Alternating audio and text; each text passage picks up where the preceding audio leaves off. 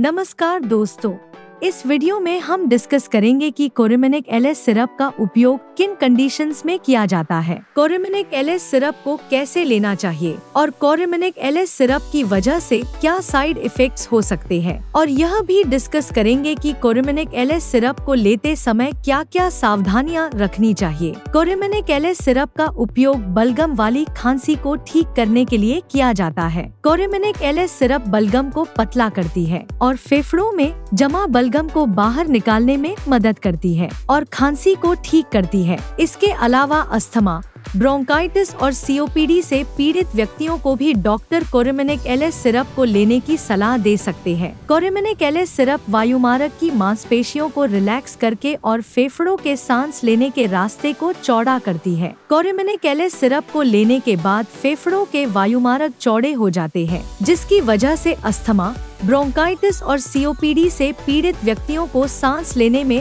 आसानी हो जाती है। साइड इफेक्ट्स की बात करें तो वैसे तो ज़्यादातर व्यक्तियों में कोरेमिनिक एलएस सिरप की वजह से कोई साइड इफेक्ट्स नहीं होते हैं। लेकिन कुछ परसेंट व्यक्तियों में कोरेमिनिक एलएस सिरप की वजह से कुछ साइड इफेक्ट्स हो सकते हैं। जैसे मुँह में सूखापन होना, सिर दर्द होना, घबराहट होना, चक्कर आना, शरीर में थकान व सुस्ती होना नींद अधिक आना या नींद कम आना, उल्टी आना और उल्टी आने का मन होना, पसीना अधिक आना, दस्त होना, भूख कम लगना।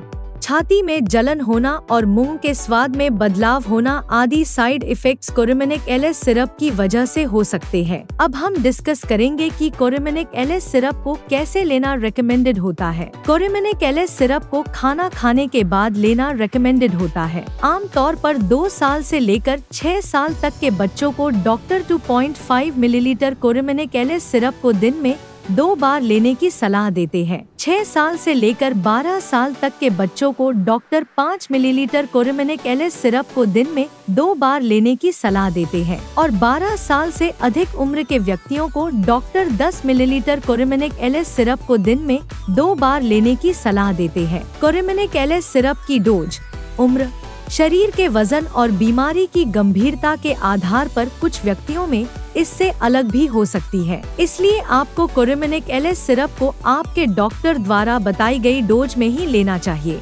दोस्तों, अगर आपको वीडियो पसंद आ रहा है तो कृपया वीडियो को लाइक करना व चैनल को सब्सक्राइब करना न भूलें। अब हम डिस्कस करेंगे कि कोरेमिनिक एलएस सिरप को लेते समय क्या क्या सावधानियाँ रखनी चाहिए। दो साल से कम उम्र के बच्चों को कोरेमिनिक एलएस सिरप को डॉक्टर की सलाह के बिना नहीं देना चाहिए। बलगम को बाहर निकालने के लिए और खांसी को जल्दी ठीक करने के लिए आपको कुरमिने एलिस सिरप के साथ साथ हर रोज दिन में दो से लेकर तीन बार गर्म पानी की भाप लेनी चाहिए, ताकि फेफड़ों में जमा बलगम पतला होकर आसानी से बाहर निकल सके और इसके अलावा आपको बर्फ़ व ज़्यादा ठंडे पानी का सेवन नहीं करना चाहिए। लगातार ज़्यादा लंबे समय तक कोरेमिनिक एलिस सिरप को लेना रिकमेंडेड नहीं होता है। अगर आपको कोरेमिनिक एलिस सिरप को लेते हुए एक सप्ताह से भी अधिक का समय हो चुका है और आपकी खांसी अभी तक ठीक नहीं हुई है तो आपको डॉक्टर से दोबारा परामर्श लेना चाहिए, ताकि आपका डॉक्टर खांसी होने के कारण का पता करने के लिए दोबारा से जाँच करवा सके।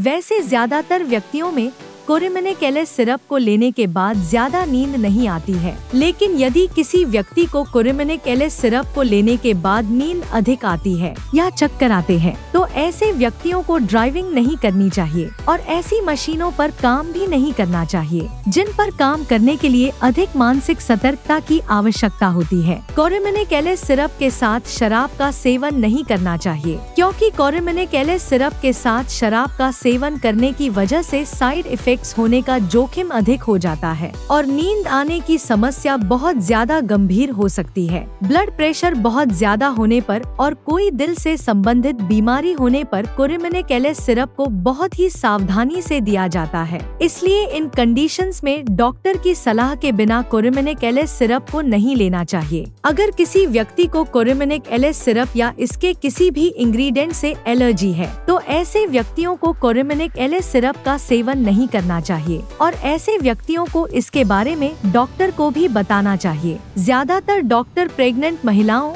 और स्तनपान करा रही महिलाओं को कोरिमिनिक एलिस सिरप को न लेने की ही सलाह देते हैं। इसलिए प्रेग्नेंट महिलाओं और स्तनपान करा रही महिलाओं को कोरिमिनिक एलिस सिरप को लेने से पहले डॉक्टर से परामर्श लेना चाहिए और डॉक्टर की सलाह के बिना प्रेग्नेंट महिलाओं और स्तनपान करा रही महिलाओं को कोरिमिनिक एलिस सिरप को नहीं लेना चाहिए। वीडियो को देखने के लिए आपका धन्यवाद। अगर आपको वीडियो पसंद आया तो प्लीज़ वीडियो को लाइक कर देना, चैनल को सब्सक्राइब कर लेना। और अगर आपका कोरिमिनिक एलिस सिरप से संबंधित कोई प्रश्न है तो आप कमेंट करके पूछ सकते हैं।